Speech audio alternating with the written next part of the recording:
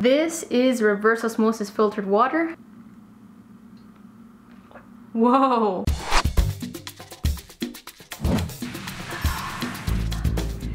Hello everybody, welcome back, bienvenidos. Today we are unboxing and installing a reverse osmosis water filter. This is to drink nice, clean, and good tasting water. I purchased this particular reverse osmosis unit directly from a company in Denton, Texas called Pure Water Products LLC. This cost me $388 and it came complete with all the parts needed. You can also buy all the parts individually and assemble them together for a cheaper price. But getting it all ready to build in one big package is pretty convenient. It includes a filter housing wrench, the drain saddle installation kit, very wordy installation instructions, the max adapter inlet installation kit, a handheld total dissolved solids tester, which interestingly you can buy at AliExpress for under $2, or if you need fast shipping, it can also be found at Amazon. The reverse osmosis unit, or RO unit for short, includes the ledge faucet installation kit.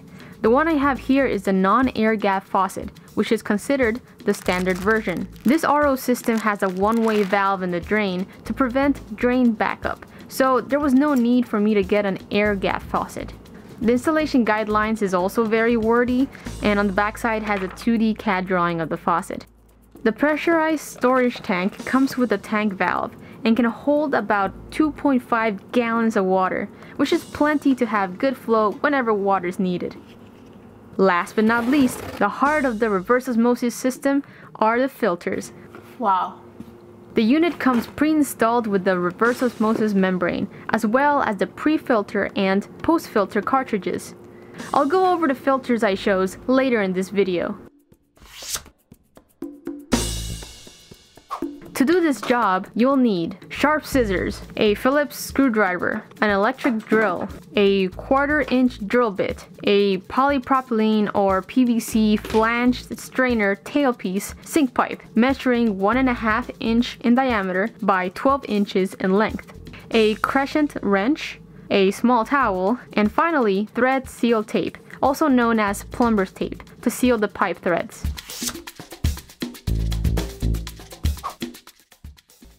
Before we begin the installation, here is how the system will work under your kitchen sink.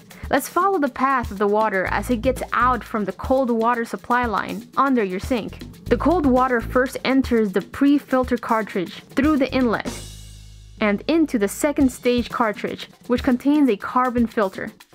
After that, the cold water passes through the reverse osmosis membrane, at which point the water containing the impurities are disposed to the drain and the clean water is pushed through the shut-off valve and into the storage tank where it sits until the moment you open the faucet.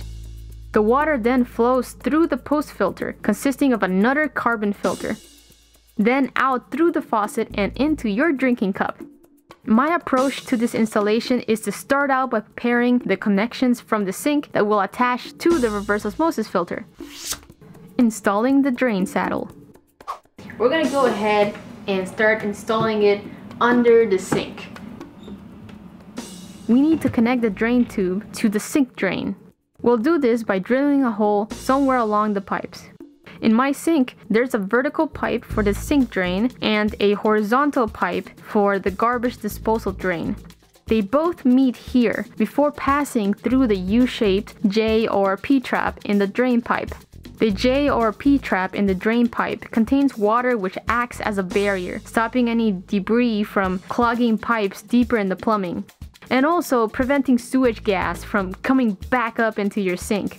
Therefore, you'll need to drill a hole above the J or P trap. I could have installed it here in the sink drain, a vertical PVC pipe, but then the drain water would fall down and create a louder splashing noise as the drip first hits the water in the trap. To prevent this, I decided to install it in the horizontal section, connecting the disposal to the vertical pipe. I also chose this location because I plan to remove the RO system in the future and found that this horizontal pipe would be the easiest to remove and replace.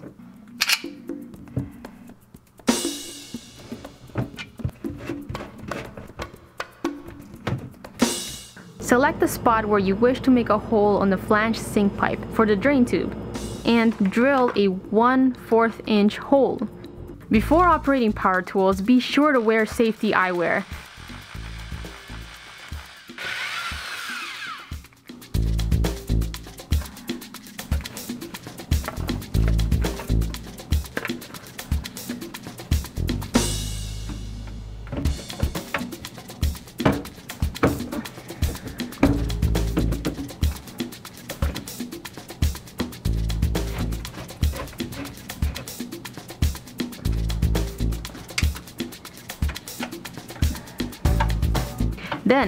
place the horizontal pipe back into place. Ideally, place it so that the drain hole is located at the top half of the pipe. Don't do like I did.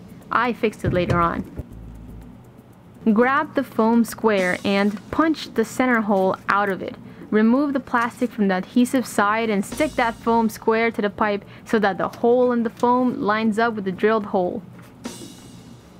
Attach the black saddle around the pipe and screw the two bolts. The foam square will seal the area around the hole as you tighten that saddle down. Screw in the black elbow quick connect fitting.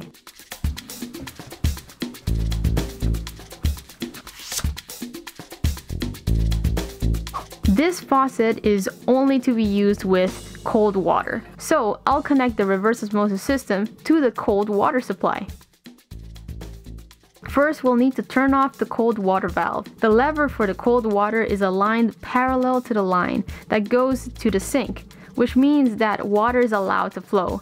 Go ahead and turn that lever 90 degrees so that it is perpendicular and open the faucet to test that no water is flowing out.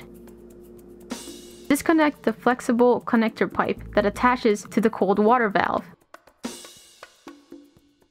This brass max adapter will be attached to redirect the water line both to the sink and to the reverse osmosis filter. Prepare the brass max adapter by applying the white plumber's tape onto the threads. This will create a tighter seal and prevent leaks.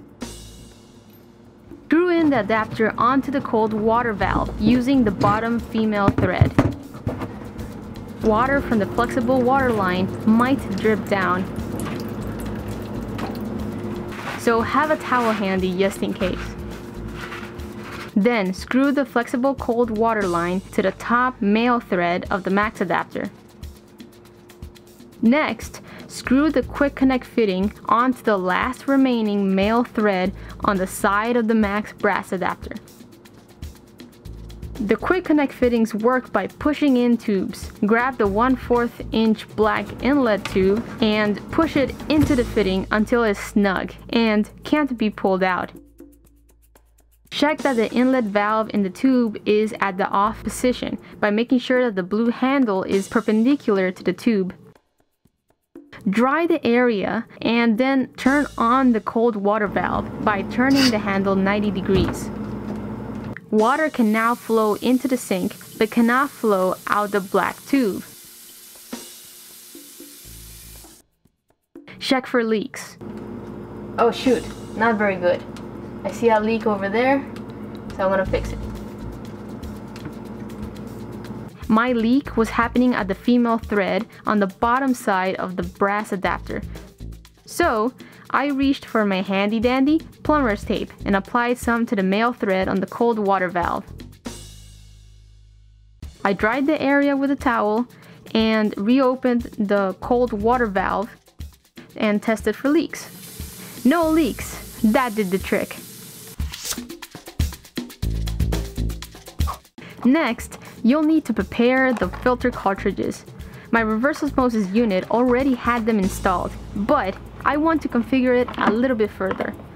My pre-water filter cartridge contains a 5 micron string wound sediment filter. Now, I live near the city and city water is usually pretty well treated for sediment, so I'm gonna remove the sediment filter and store it for a future necessity. To open the filter housing, grab the filter housing wrench and turn it counterclockwise. Righty-tighty, lefty-loosey. This is how you'll need to do maintenance in the future. The second stage cartridge contains a Matrix KX CTO carbon filter, which needs to be replaced annually. The third stage is the reverse osmosis filter, which contains a 50 GPD Pentek GRO membrane. I chose this because it has a 1 to 1 waste ratio of purified water to drain water. That means that for every cup of purified drinking water, one cup is wasted, rejecting 96% of dissolved solids. The fourth stage contains a Matrix KXCTO Plus carbon block post filter, which requires annual replacement. The great thing about the RO system is that you can customize it in the future by easily replacing the filters. I used to use this carbon filter, but no more. We're gonna install this one-of-a-kind filter. So we're gonna take the reverse osmosis and put it under here.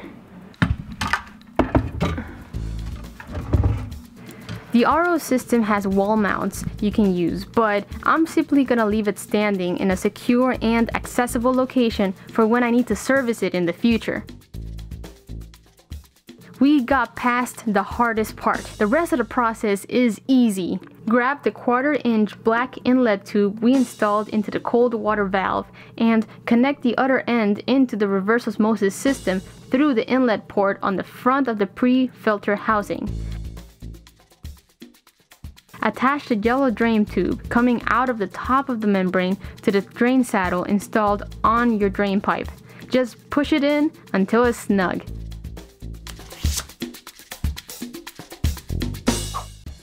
The faucet can be installed in the stainless steel sink by drilling a 7 8 to 1 and 1 8 inch diameter hole. Now I don't want to drill a hole in this sink so I'll be keeping the faucet under the sink in a cup for now.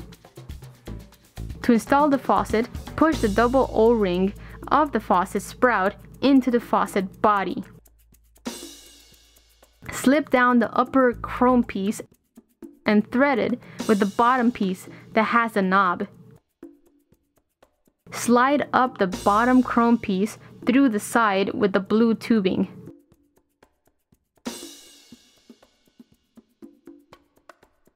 Push in the faucet tube through the outlet port on the front of the post filter housing.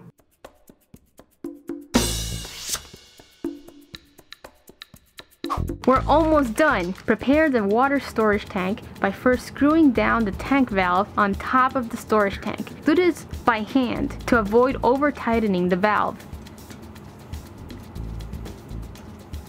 Attach the white water pipe by pushing it inside the tank valve until snug. Place the water storage tank under the sink next to the reverse osmosis system. Connect the white line from the tank to the last remaining quick connect fitting on the T fitting on the top side of the membrane. Notice that in the front of the water storage tank, there's a blue cap. Beneath the cap is a Schrader valve where you can inflate the tank with air just like you would inflate a bike tire. Since this system is brand new, the tank has already been pre-pressurized to 7 to 8 psi when without water. With time, the pressure in the tank may change, requiring regular maintenance.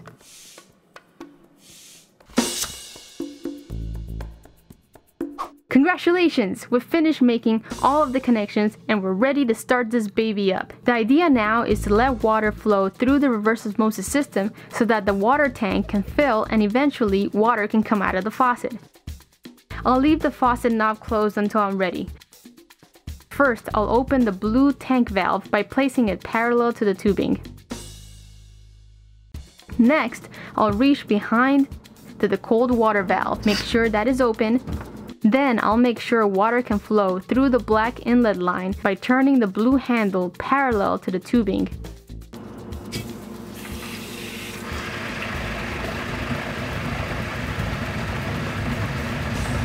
Wow, it is going with quite a lot of pressure. So far no leakage. Now water is starting to flow through the RO system. The unit is making noticeable gurgling and hissing sounds. And that's quite normal. While the water reaches the faucet, I'm gonna keep an eye out for leaks. So far so good. After two or three minutes, I'm starting to hear water pass into the tank.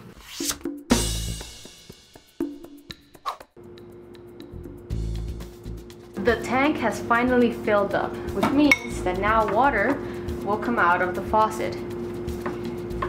Let's give it a test. Yep, working beautifully.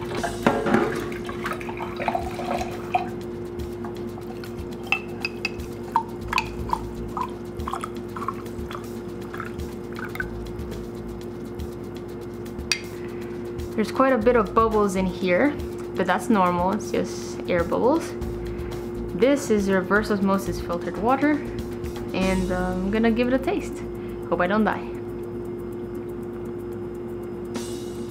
Whoa, that's a really, really different taste than what I'm used to, which is just uh, faucet water.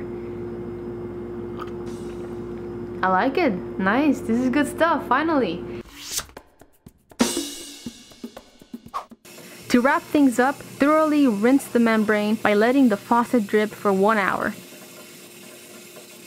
Then close the faucet and let the tank fill up for two hours. Then open the faucet and let the tank empty. The tank will empty out faster than it will fill up. Then let the tank fill up once more and it's ready to use. Now the question I have as an engineer is, how clean is this reverse osmosis water? And how does it compare to the tap water coming out of my sink? Be sure to subscribe to find out in the next episode of Yoguely. If you found this tutorial helpful, be sure to give it a thumbs up. If you have any questions, leave them in the comment section below or join the discussion in the Yoguely community forum. I'm Ida Yoguely. Thanks for watching and I'll see you next time. That's all folks.